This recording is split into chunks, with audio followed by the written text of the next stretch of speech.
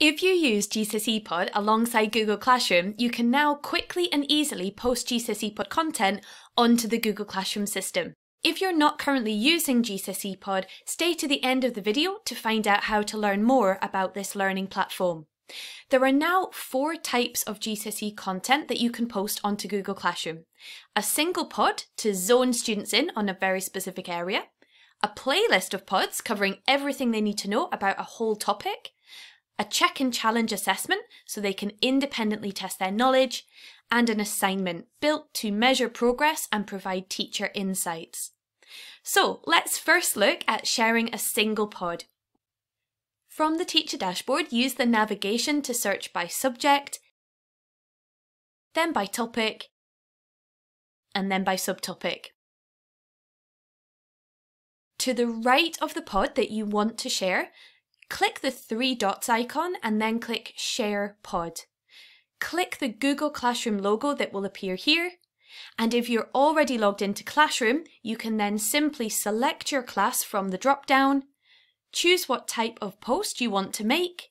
For example, you might want to post as an assignment, and then the assignment will be automatically created, complete with the topic name and the link to the relevant GCSE Pod video at the bottom of the, the page here.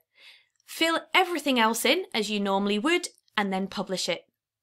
When the student clicks that link from Google Classroom, they'll be logged in automatically to GCSE Pod via single sign-on, and that uses their Google credentials to sign them in.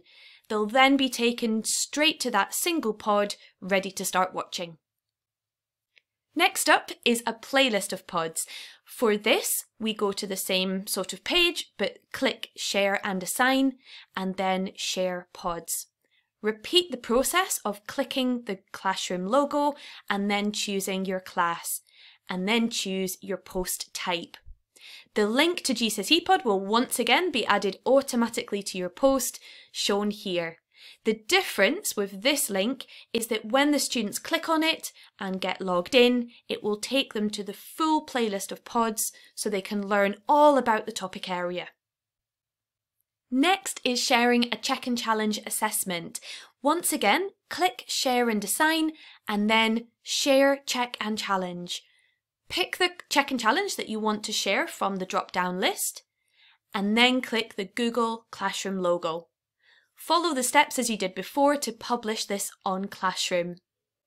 When the student clicks the link from your Google post, they will be taken straight to question one of that check and challenge assessment.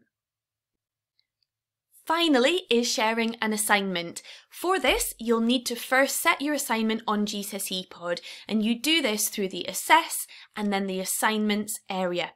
The easiest way to set an assignment on GCSE Pod is to use our specialist written ready-made assignments here. Pick a topic area and your assignment will be built with you, ready with the pods and the questions for the students to answer and watch. All you need to do is pick a class, and publish it as shown here.